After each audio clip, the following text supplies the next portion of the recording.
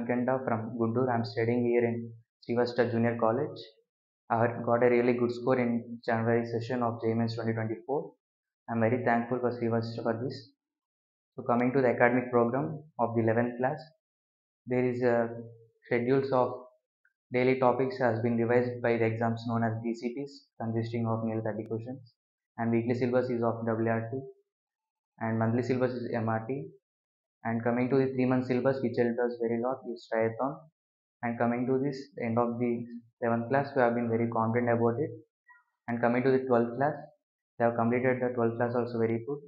And coming to the revision which is more important they have started it before nearly three months of the January.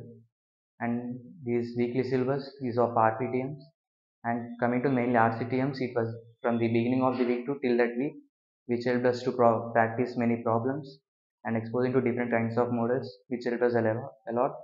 and coming to the doubt sessions they, the errors in the questions or the doubts they have been clarified by the, our senior lecturers.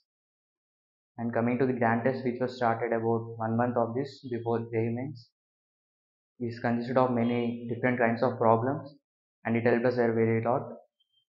And, and it helped me to get a good percentile in JEE mains there is a much good love and sub- support. Thank you Sri Vasishta for this